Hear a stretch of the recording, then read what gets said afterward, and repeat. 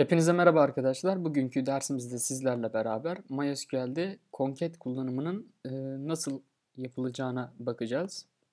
E, ben bir SQL SQL Pro e, programında çalışıyorum. Bundan sonra da ekleyeceğim dersleri buradan yapacağım. Bir bir tane ders adında veri tabanı oluşturdum.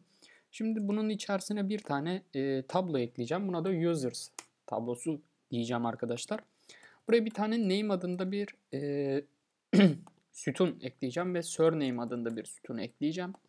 E, iki tane sütunumuz olacak. E, ve şöyle diyelim bir de il e, ya da country diyelim. Ve bir de e, tone diyelim. Şimdi veri tabanı tablolarımızı oluşturduk. Bir tane veri girelim. Ne diyelim? Mert, Buldur, e, country Türkiye diyelim. Town'a da İstanbul diyelim. Şimdi arkadaşlar concat kullanımı veri tabanındaki verilerin e, birleştirmesine yarıyor. E, nasıl yarıyor? Hemen örnek üzerinde deneyelim. E, select yıldız from users dediğim zaman bakın çıktı nasıl çıkıyor? Name, surname, country, town şeklinde normal e, tablomuzun içeriği geliyor. Tamam gayet güzel. Ama ben istiyorum ki name ile surname'i bana birleştirerek getirsin. Yani adı soyadını e, PHP tarafında veya herhangi bir programlama dili tarafında yapmak yerine e, ben MySQL'de yapayım. MySQL bana bu şekilde çıktı versin. Ne yazacağım? Şöyle concat diyeceğim. Ve diyeceğim ki name şöyle virgülle ayırıyoruz bunları ve surname diyeceğim. Bakın çalıştırıyorum. Mert Buldur şeklinde geldi. Tamam da ben bunu alırken bu şekilde mi alacağım? Dilersem şuraya as full name diyebilirim. Bakın artık full name'i bu şekilde geldi. E diğer verilere de ulaşmak istiyorsam ne yapacağım? Virgül yıldız yapacağım. Şöyle pardon.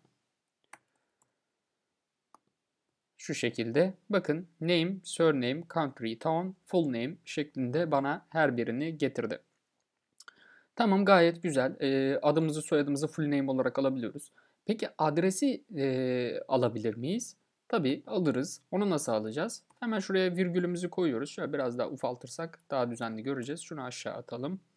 E, şunu da aşağı atalım. Şöyle neler yaptığımızı daha rahat görelim. Yine concat diyeceğim arkadaşlar. Diyeceğim ki country ve e, town diyeceğim.